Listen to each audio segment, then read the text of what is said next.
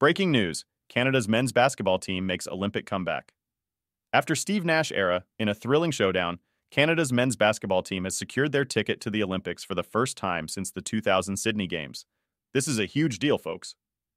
Led by the incredible All NBA guard Shai Gilgeous-Alexander, the Canadian squad pulled off an impressive victory against the world's top ranked team, Spain, with a nail biting final score of 88 85. This win also propels them to the FIBA World Cup quarterfinals, marking their first time back since they hosted the tournament in 1994. Why was this game so critical, you ask? Well, here's the scoop. If Canada hadn't beaten Spain, they'd be looking at a last chance Olympic qualifier next year, likely in June. But now, it's Spain's turn to face the pressure in one of those last chance tournaments. Talk about a role reversal. Now let's talk Olympics.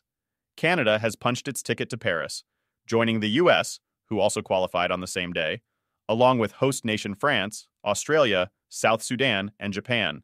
But wait, there's more. The top two European teams at the World Cup will also secure their spots, and four additional nations will make it through the last chance qualifiers. One interesting tidbit Canada boasts more NBA players than any other nation, except for the United States.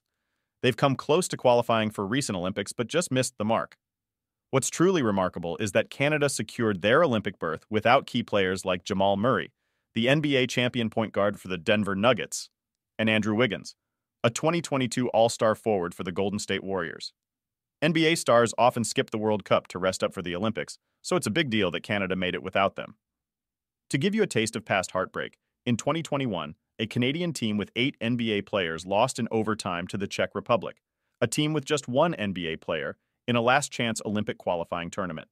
In 2016, they narrowly missed out on a Rio Olympic berth against France.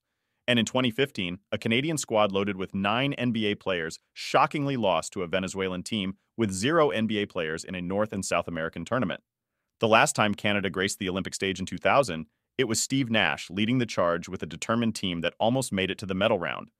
Nash and center Todd MacCulloch were the lone NBA players on that squad.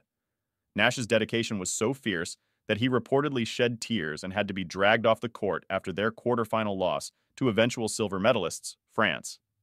In sum, Canada's journey back to the Olympics has been a roller coaster of emotions and challenges, but they've done it. The Maple Leaf will be proudly waving at the Paris Games, and basketball fans across the nation are celebrating this monumental achievement. Go Canada!